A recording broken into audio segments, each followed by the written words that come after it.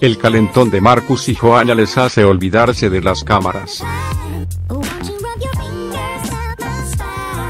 La cena entre los dos jóvenes acabó en el reservado del restaurante que regenta Carlos Sobera, propiciando un momento de los más tórrido entre la pareja. Marcus y Joanna se dejaron llevar y ella descubrió un papel con un mensaje secreto de uno de los juegos del programa. Si pone beso, seguro que voy a querer, decía él, según recoge EcoTV.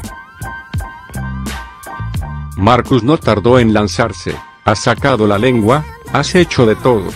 Dijo a su pareja. Ahora le voy a decir a toda España que besas muy, muy bien, pero nadie lo va a probar. El tono del encuentro se fue calentando poco a poco y la pareja no podía dejar de besarse ni separarse. Estaba claro que habían congeniado y así lo demostraron en la decisión final.